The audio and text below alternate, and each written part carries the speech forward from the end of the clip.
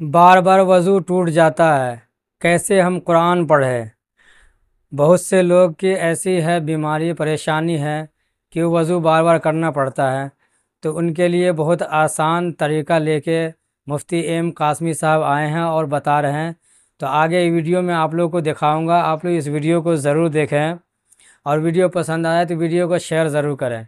चलिए आप लोग को वीडियो दिखाते हैं। वीडियो को आप लोग पूरा देखें। अस्सलाम वालेकुम वरहमतुल्लाहि वबरकातुहू। जिन लोगों का वज़ू जल्दी टूट जाता है, वज़ू बाकी नहीं रहता है ज़्यादा देर तक, वो लोग कुरान मजीद की तिलावत कैसे करें? किसी का पाँच मिनट, दस मिनट, पंद्रह मिनट, बीस मिनट, बार बार वज़ू टूटता रहता है जल्दी जल्दी। अब ये हजरात जिनका वज़ू जल्दी टूटता है, मर्द हों, ख़वातीन हों, कैसे ये कुरान मजीद की तिलावत कर सकती हैं? कैसे कुरान मजीद की मर्द हजरात तिलावत कर सकते हैं? वज़ू तो बार बार टूट रहा है। इसी तरह का एक सवाल पूछा गया है कि मुफ्ती साहब, मेरा वज़ू दस मिनट से ज़्यादा नहीं रहता है। बार बार वज़ू टूट जाता है। मैं कुरान मजीद की तिलावत करना चाहता हूँ, लेकिन कुरान मजीद की तिलावत कैसे करूँ? क्योंकि बार बार वज़ू टूट जाता है। अब ऐसे हजरात जिनका वज़ू बार बार टूट जाता है, उनके लिए ये है कि वज़ू करने के बाद कुरान मजीद की तिलावत करने बैठें। दस मिनट, तिलावत की वज़ू टूट गया तो जाकर फिर वज़ू कर लें। क्या दिक्कत आ रही है?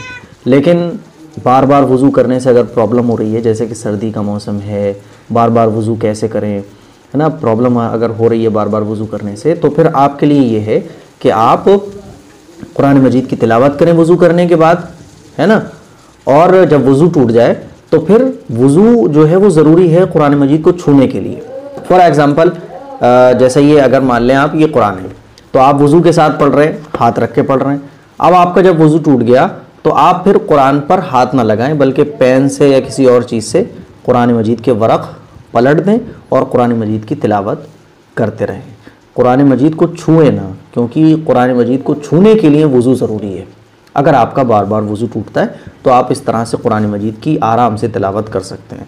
और जब आप तिलावत पूरी कर लें तो कुरान मजीद को बंद कर दें। अब बंद करने के लिए भी आप पेन का सहारा ले लें या रुमाल वगैरह से पकड़े बंद कर दें। कुरान मजीद को छूने के लिए वज़ू ज़रूरी है। तो ये एक सॉल्यूशन है उन लोगों के लिए जिनका वज़ू जल्दी जल्दी टूट जाता है, वज़ू बाकी नहीं रहता है।